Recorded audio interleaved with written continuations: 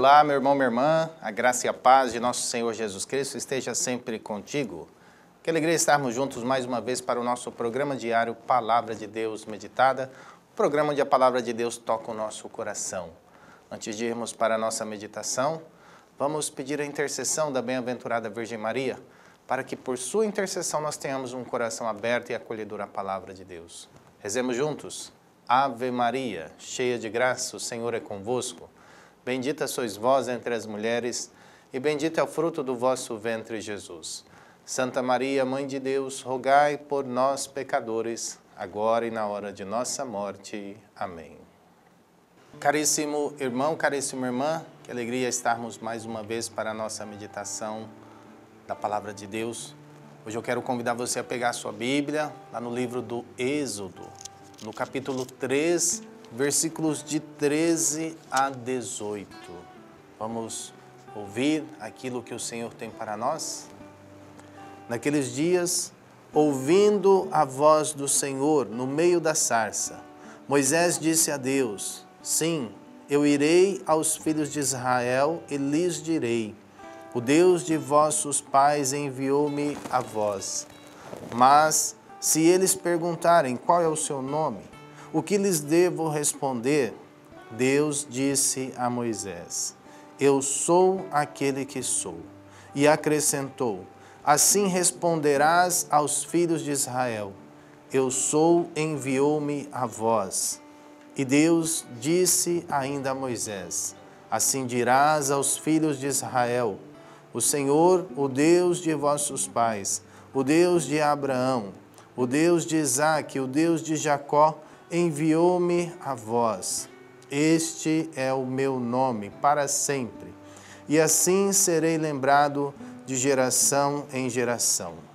Vai, reúne os anciãos de Israel e dize-lhes: O Senhor, o Deus de vossos pais, o Deus de Abraão, o Deus de Isaque, o Deus de Jacó, apareceu-me dizendo: Eu vos visitei e vi tudo o que vos sucede no Egito, e decidi tirar-vos da opressão do Egito e conduzir-vos à terra dos cananeus, dos Hititas, dos amorreus, dos ferezeus, dos heveus e dos jebuseus, a uma terra onde corre leite e mel. Eles te escutarão, e tu, com os anciãos de Israel, irás ao rei do Egito e lhes direis: Ó Senhor, o Deus dos Hebreus veio ao nosso encontro e agora temos que ir a três dias de marcha no deserto para oferecermos sacrifícios ao Senhor nosso Deus. Palavra do Senhor, graças a Deus. Caríssimo irmão, caríssima irmã, este trecho do livro do Êxodo que nós acabamos de ouvir narra para nós a passagem de Moisés e a sarça ardente. É Deus que se revela a Moisés e coloca nas mãos de Moisés uma grande missão, a missão de libertar o seu povo da escravidão do Egito. Que o povo que foi para lá por conta daquela passagem de José do Egito, que foi vendido pelos seus irmãos e se tornou um grande administrador do Egito, e depois toda a sua família foi para lá. E agora, tempos e tempos depois, eles vivem uma escravidão. E Moisés sabe muito bem desta história.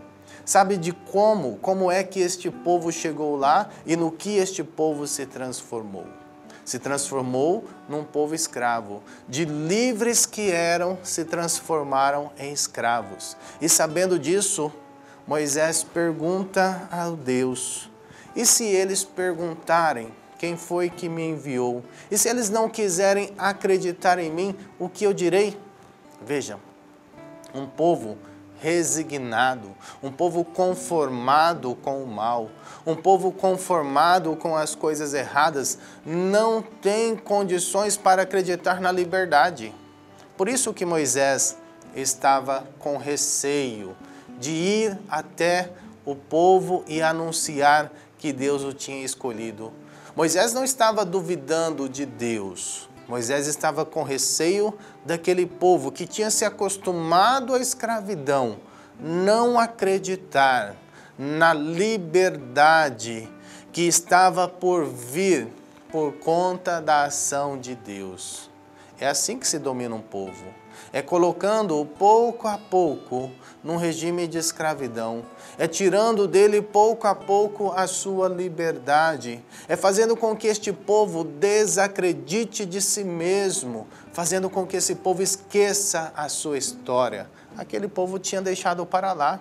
Tinha deixado para lá o fato de que eles eram herdeiros da promessa, Abraão, Isaac e Jacó, e o filho de Jacó, José.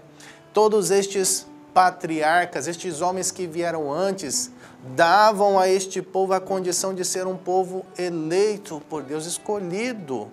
Mas eles tinham esquecido, porque o sofrimento muitas vezes faz isto conosco.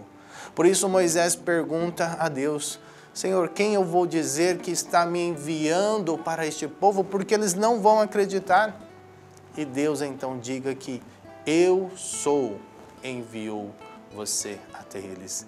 Eu sou é a revelação de Deus nas sagradas escrituras. Deus se revela nas sagradas escrituras com esta frase: eu sou, porque Deus é. Em Deus tudo é, ele é a totalidade do bem. É Deus quem envia Moisés para salvar, para conduzir o seu povo à liberdade. E é Deus também, meu irmão, minha irmã, que entra na nossa vida através da palavra que ele proclama para nós e diz para nós que existe uma liberdade muito maior do que esta que nós estamos vivendo existe a liberdade de ser reconhecidamente filho e filha de Deus. Hoje o Senhor te chama para esta liberdade. Hoje o Senhor te chama novamente a se reconhecer como um herdeiro da promessa. Hoje o Senhor te chama a viver novamente para Ele. Deus libertou o seu povo para que eles pudessem prestar um culto ao Deus, ao Deus de nossos pais. E Deus te chama hoje para que você possa render seus louvores, dar graças a Deus por tudo aquilo que Ele já realizou por nós e por tudo aquilo que Ele ainda há de realizar. Se você parar para pensar, o seu futuro é infinitamente maior do que tudo que já aconteceu no teu passado.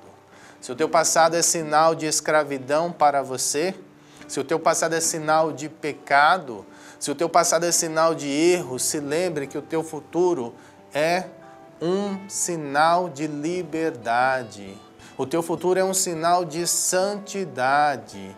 O seu futuro é um sinal de retidão, porque Deus te chama para uma vida nova, para uma vida de filho, não uma vida de escravo, para uma vida de alegria em Deus, não uma vida de sofrimento na escravidão.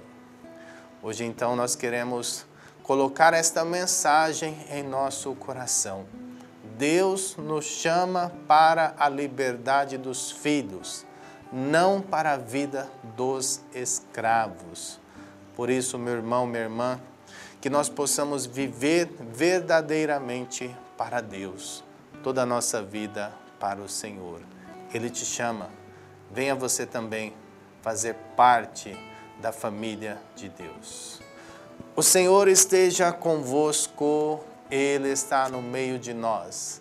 Abençoe-vos, Deus Todo-Poderoso, Pai, Filho e Espírito Santo. Amém. Louvado seja nosso Senhor Jesus Cristo, para sempre seja louvado.